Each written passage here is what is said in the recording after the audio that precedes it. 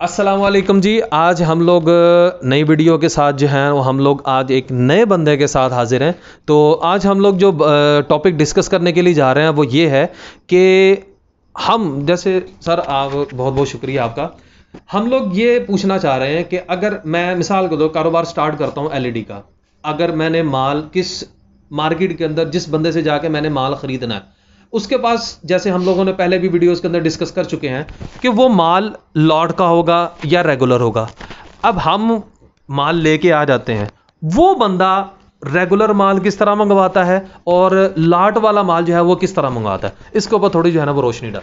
جی بسم اللہ الرحمن الرحیم۔ سب سے پہلے تو یہ بات ہے کہ چائنا میں جب آپ جاتے ہیں زیادہ کوانٹٹی میں مال خریدنے کے لیے تو وہاں پہ کمپنی ہوتی ہیں۔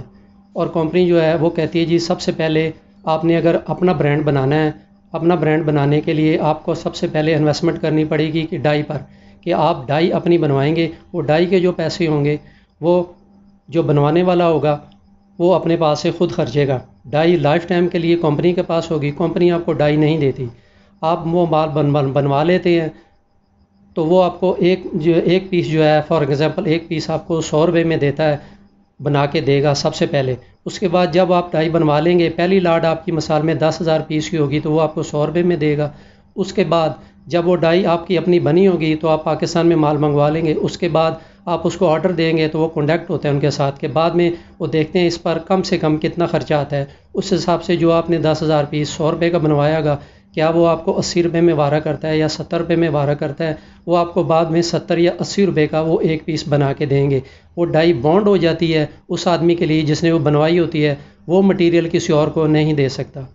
اس کے بعد یہ ہے، جب وہ اس کو پاکستان میں فار ایگزامپل دس دس ہزار پیس منگواتا ہے کسی بھی الیکٹرانک چیز کا یا کسی اور چیز کا، وہ جب پاکستان میں مال آ جاتا ہے دس ہزار پیس، اس کے بعد وہ دیکھتا ہے، وہ جب وہ مارکیٹنگ کرتا ہے، دیکھتا ہے کہ وہ سو فیصد ٹھیک ہے، اس کے بعد پھر وہ اپنے حساب سے دس یا بیس ہزار پیس کا آرڈر دیتا ہے۔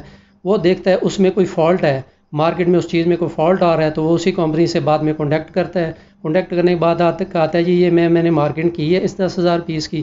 اور اس میں یہ کمپلینٹ آ رہی ہے، لہٰذا آپ اس کمپلینٹ کو دور کریں۔ اگر وہ کمپلینٹ دور ہو سکتی ہے تو ٹھیک ہے، اگر وہ کمپلینٹ دور نہیں ہو سکتی تو جو اس نے آرڈر دیا ہوتا ہے اور مال کا اس میں سے آدھا بن جاتا ہے۔ تو وہ پاکستان میں جب وہ مال منگوائے گا، تو اس کو ظاہری بات ہے، یہاں پہ آنے کا کرایہ پڑے گا۔ وہ کرائے سے بچنے کے لیے اس مال کو ریجیکٹ کر دیتا ہے۔ ریجیکٹ کرنے کے بعد وہ کمپنی جو مال بنا دیتی ہے، وہ اس مال کو نہ نقصان کرنے کے لیے اس کو بعد میں آکشن کر کے اس مال کو بیچ بیچ دیتی ہے۔ وہ آکشن کر کے جو بکتا ہے، وہ را مٹیریل ہوتا ہے اور وہ بعد میں یہاں پہ پاکستان میں آ جاتا ہے یا کسی اور ملک میں چلا جاتا ہے۔ صحیح۔ یعنی وہ مال پھر یہاں پہ آ جاتا ہے اور مال آنے کے بعد اب یہ کہنے کا مقصد یہ ہے کہ جب یہ مال پہلے شروع کے اندر انہوں نے ڈائی کے ذریعے کسی کی بھی بات کر رہا ہوں، میں کسی ایک خاص بندے کی نہیں بات کر رہا، اس نے مال جب ڈائی کے اندر بنوایا تو وہ ایک ریگولر شیپ کے اندر آیا۔ لیکن بعد میں جب اس نے دیکھا کہ یار اس میں کچھ ڈیفیکٹو وغیرہ جو ہے نا وہ پیس نکل آئے ہیں مال جو ہے نا اب ٹھیک نہیں آ رہا اس کی کمپلین بہت زیادہ آ رہی ہیں تو پھر اس نے مال کے آرڈر کو وہیں پہ روک دیا اور جیسے ہی مال رکا تو ظاہری بات ہے کہ وہاں سے اب وہ آرڈر تو مال تو آئے گا نہیں۔ تو جو کمپنی بنا رہی ہے اس نے اپنے بھی تو لاس سے بچنا ہے۔ اب وہ کمپنی کیا کرتی ہے پھر اس مال کو کیا کر دیا اس کو وہاں سے ایک یہ ایسا کہہ لیں کہ ڈیفیکٹو سمجھ کے سکریپ سمجھ کے اس کو آپشن کر دیتی ہے اس کو جو ہے نا ایسے بیچ دیتی ہے۔ اور یہاں پہ کئی ایسے لوگ جو ہوتے ہیں مارکیٹ کے اندر وہ لوگ کیا کرتے ہیں؟ اس کو جو ہے نا وہ پرچیز کر لیتے ہیں۔ سستا سمجھ کے جو ہے نا وہ پرچیز کر لیتے ہیں۔ پھر یہ والا مال جو ہوتا ہے اب کیونکہ وہ ڈیفیکٹو ہے اور یہ مال پھر بعد میں کیا ہوتا ہے؟ ایک لاٹ کی شکل کے اندر آتا ہے اور مال وہ یہ پہلے ریگولر کی نسبت بہت ہی سستا پڑتا ہے۔ اور جب یہ مال یہاں پہ آتا ہے تو پھر کیا ہوتا ہے؟ فار ایگزامپل اب جس بندے نے یہ لاٹ والا مال لے کے آئے ہیں اب ایک بندہ نیا آتا ہے اور اس کو یہ پتہ ہی نہیں ہے کہ یار یہ بندہ ریگولر مال جو ہے نا وہ دے گا ہمیں ریگولر والا دے رہا ہے یا پھر لاٹ والا مال دے رہا ہے تو یہ کیسے پتہ لگے گا؟ وہ ایسے ہے جب یہ جو لاٹ والا مال ہوتا ہے یہ اکثر آکشن ہوتا ہے۔ الیکٹرانک چیز اکثر آکشن ہوتی ہے جیسے جیسے یہاں پہ سرکاری آکشن ہوتی ہے۔ تو اکثر لوگ وہاں پہ جاتے ہیں وہ کہتے ہیں جی وہاں پہ آکشن ہو رہی ہے سستا مال ملے گا اور ہمیں پروفٹ زیادہ ہوگا۔ مگر سو میں سے دس فیصد ایسے لوگ ہوتے ہیں کہ جن کو پتہ ہوتا ہے، دس یا پندرہ فیصد لوگ ہوتے ہیں، ان کو پتہ ہے بھائی آکشن میں جو مال ہوتا ہے وہ ڈیفیکٹڈ ہوتا ہے۔ ڈیفیکٹڈ ہوتا ہے، ٹھیک ہے جی وہ نہیں خریدتے۔ جن لوگوں کو نہیں نہیں پتہ ہوتا، انہوں نے دائیں بائیں سے باتیں سننی ہوتی ہے کہ وہاں پہ آپشن ہوتا ہے، مال سستا بکتا ہے، ٹھیک ہے، سستا بکنے کی ہم وہ خریدیں گے تو ہمیں پروفٹ بھی اچھا ہوگا اور رزلٹ بھی اچھا آئے گا۔ وہ ڈیفیکٹڈ مال ہوتا ہے، اس کا رزلٹ اچھا نہیں ہوتا، صرف لالچ کی بنا پر لوگ خرید لیتے ہیں۔ جو بیس فیصد سمجھدار لوگ ہوتے ہیں، جن کو انفارمیشن ہوتی ہے اور جن کو پتہ ہوتا ہے کہ وہ ڈیفیکٹڈ مال ہے تو وہ اس کو نہیں خریدتے نہیں اب مثال یہ تو آپ کی بات بالکل ٹھیک ہے۔ اب مثال کے طور میں نے کاروبار سٹارٹ کیا۔ میں مارکیٹ میں جا کے وہی مال خریدتا ہوں۔ اس میں ایک ریگولر ہے۔ جیسے کہ مثال کے طور پہ ایک پہلے ویڈیو کے اندر بھی ہم لوگوں نے ڈسکس کیا تھا کہ ریگولر اور لاٹ والے مال کے اندر ہمیں کیسا پتہ لگے۔ تو ایک ہمیں یہ جو ہے نا وہ ڈسیجن ہمیں ہم لوگوں نے کیا تھا یعنی ہمیں یہ انفارمیشن فائنل ہوئی تھی کہ جس سے مال لے رہے ہیں ایک دفعہ جس سے مال لے لیا ہے اگر اگلی مرتبہ وہی سیم ٹو سیم کوالٹی کا مال ملا تو وہ آپ کا ریگولر والا مال ہوگا اور اگر آپ کو وہ ویسا مال نہیں ملتا اٹ مینز وہ آپ کا لاٹ والا مال ہے اور ڈیفیکٹو مال ہوگا بیسیکلی اب آپ کو اس سے اندازہ آٹومیٹکلی ہو جائے گا کہ کون سا مال ریگولر ہے اور کون سا مال ڈیفیکٹو یعنی لاٹ والا ہے۔ تو انشاءاللہ امید ہے کہ اس طرح یہ سارے کام کر اب دیکھیں ایک اور ایک اور بات میں بتاتا چلوں۔ جیسے کہ آپ نے پہلے بھی بتا رہے تھے کہ وہ مختلف لوگ مختلف قسم کی کٹیں بیچ رہے ہاں۔ ہوتے ہیں۔ تو اس کے اندر تھوڑا سا ہمیں اس کے بارے میں بتائیں ذرا۔ اس کے لیے یہ لیے ہے کہ یہ شالم مارکیٹ ہے اور جو آپ ہار روڈ مارکیٹ ہے اس میں چھ سات قسم کے تاجر ہوتے ہیں جو مال اپنا الیکٹرانک خود امپورٹ کرتے ہیں۔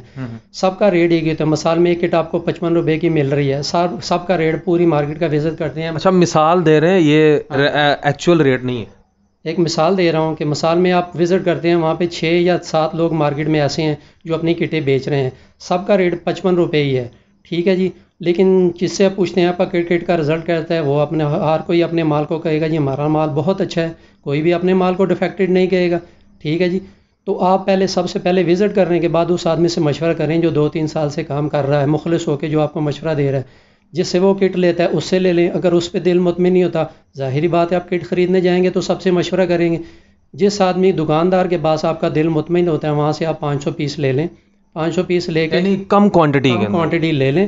لینے کے بعد آپ اس کو سیمبلڈ کر کے تیار کریں اور مارکیٹ میں مارکیٹنگ کر کے مارکیٹ میں اپنا مال بیچیں۔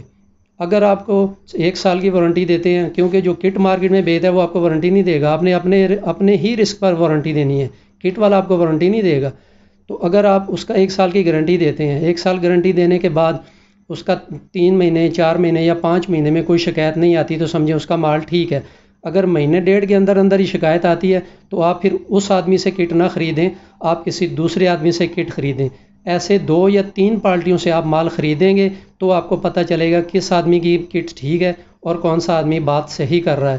جس کی شکایت کم سے کم ہے، اس سے آپ مال ریگولر خریدیں۔ ٹھیک ہے جی تو وہ آپ کو بہتر رہے گا کیونکہ کٹ کی وارنٹی بھی نہیں دیتے اور آپ کٹ خرید کر لے آتے ہیں تو یہاں پہ کوئی ایسا میٹر نہیں ہے جو آپ کو بتائے یہ کٹ ٹھیک ہے یا نہیں ہے۔ تھینک یو سو مچ جی آپ کا یہ ویڈیو دیکھنے کا اور آپ لوگوں کو کافی انفارمیشن مل چکی ہوگی۔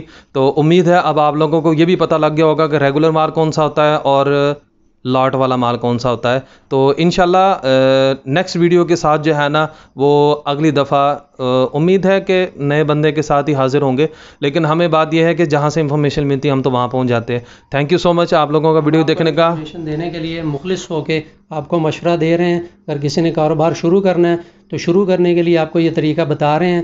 تاکہ لوگ کہتے ہیں لاکھ روپے سے لاکھ روپے پرافٹ ہوتا ہے ایسا نہیں ہے۔ کاروبار کوئی بھی شروع کرو ایل آئی ڈی کے علاوہ بھی شروع کریں۔ تو اس میں رسک ہوتا ہے نو لاس نو پروفٹ نہیں ہوتا ففٹی ففٹی پرسنٹ ہوتا ہے۔